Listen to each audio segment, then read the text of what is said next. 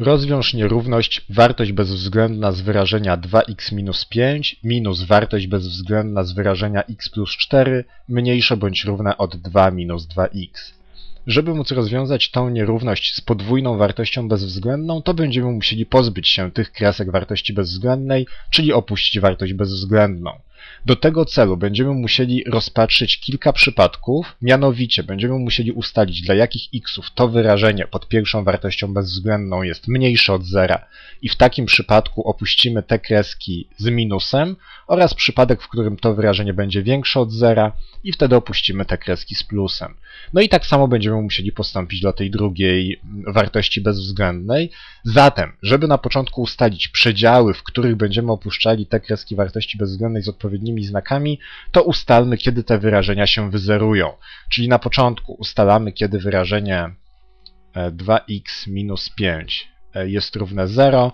No oczywiście liczymy, że 2x jest równe 5, czyli x jest równe 5 e, drugich. Dla 5 drugich to wyrażenie jest równe 0 i dla wszystkich xów mniejszych od 5 drugich jest ujemne, a dla większych jest dodatnie. No i tak samo teraz załatwmy tą drugą wartość bezwzględną. Liczymy miejsce zerowe tej funkcji x plus 4, czyli patrzymy, kiedy x plus 4 jest równe 0.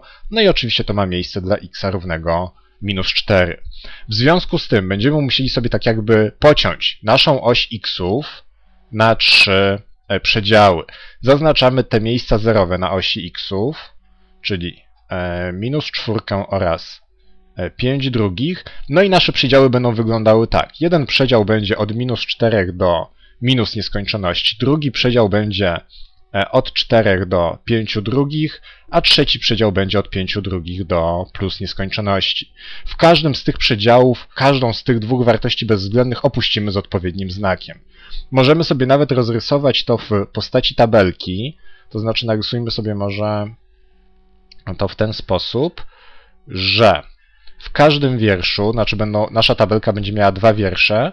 W pierwszym wierszu napiszemy sobie mm, to pierwsze wyrażenie, tą pierwszą wartość bezwzględną, tutaj będzie 2x minus 5, a w drugim wierszu będziemy mieli tą drugą wartość bezwzględną, czyli x plus 4, a tutaj w trzech kolumnach napiszemy sobie te nasze trzy przedziały, w których za chwilę będziemy opuszczali kreski wartości bezwzględnej, te nasze trzy przypadki.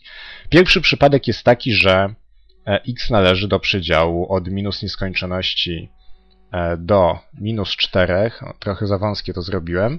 Drugi przedział to będzie, już napiszę w takim razie bez x, od minus 4 e, do 5 drugich. No i trzeci przedział to będzie od 5 drugich do plus nieskończoności, czyli tu napiszę 5 drugich plus e, nieskończoność.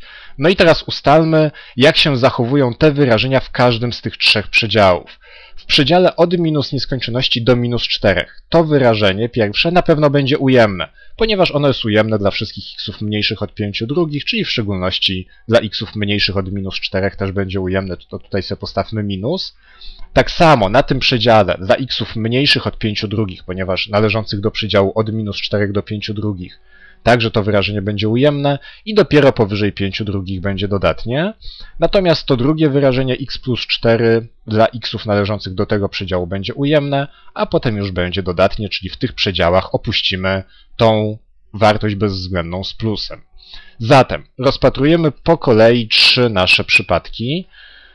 Pierwszy przypadek będzie taki, że x należy do tego pierwszego przedziału, czyli do przedziału od minus nieskończoności do e, minus 4. Powiedzmy, że tu sobie domkniemy nawias. To nie ma znaczenia, czy tu domkniemy, czy tu domkniemy. Gdzie, gdzieś trzeba tą minus 4 umieścić. Powiedzmy, że tutaj domkniemy nasz przedział.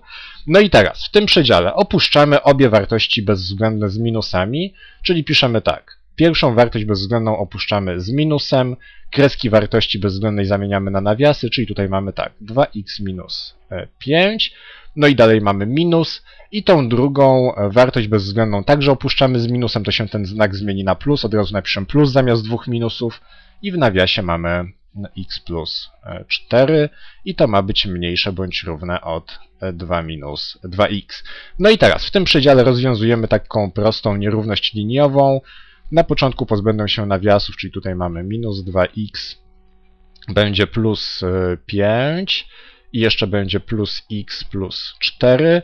Może od razu te minus 2x przerzucę na lewą stronę, to będzie plus 2x i to wszystko ma być mniejsze bądź równe od 2. Ile mamy xów? Minus 2x plus 2x się redukuje, zostaje, zostaje tutaj 1x, czyli mamy x mniejszy bądź równy od 5 e, plus 4 to jest 9, na drugą stronę 2 minus 9 to będzie e, minus 7.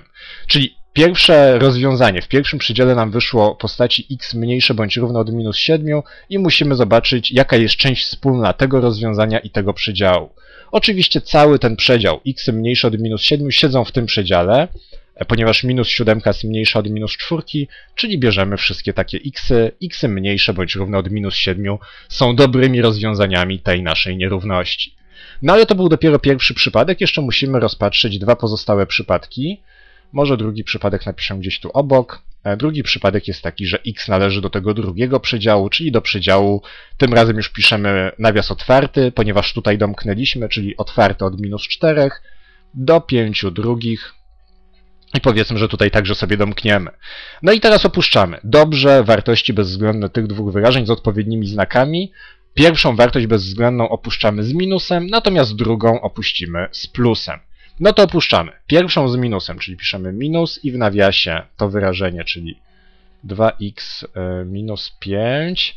No i teraz ten minus, minus i tą wartość bezwzględną opuszczamy z plusem, czyli tutaj nic nie zmieniamy, po prostu będzie x plus 4 i to ma być mniejsze bądź równe od 2 e, minus 2x. E, I teraz tak, rozwiązujemy tą nierówność, czyli mm, opuszczamy nawiasy, minus 2x plus 5 Dalej mamy minus x minus 4.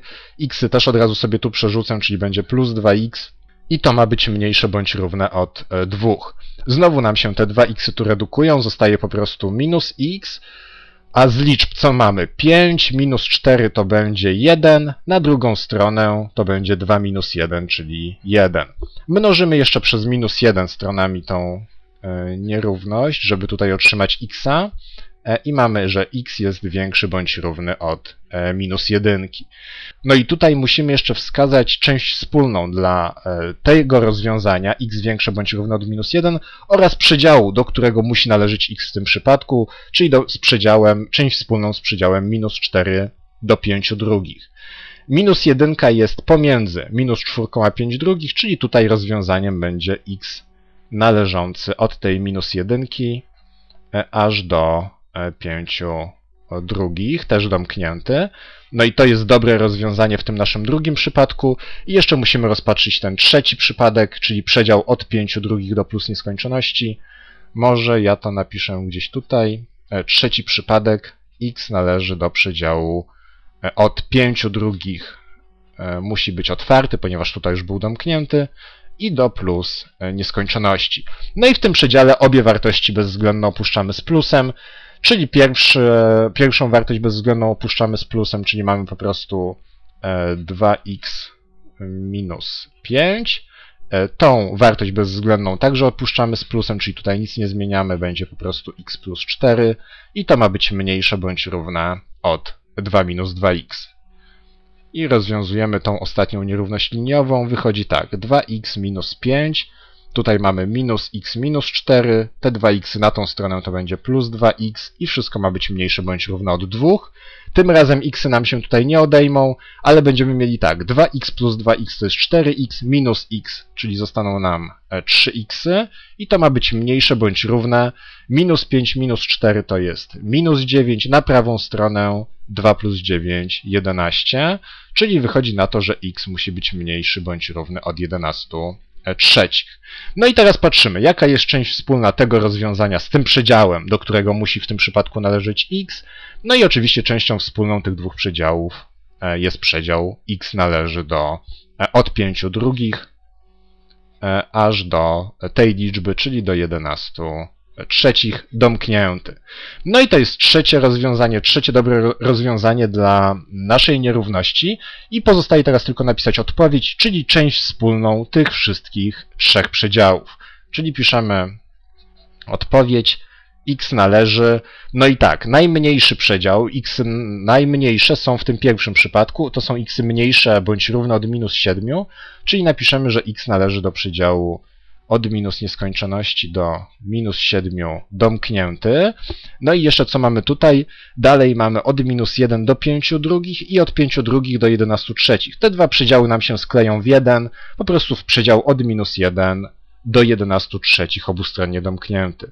Czyli to piszemy plus, właśnie ten drugi przedział od minus 1 e, do 11 trzecich e, domknięty. No i to jest ostateczna odpowiedź do tego zadania.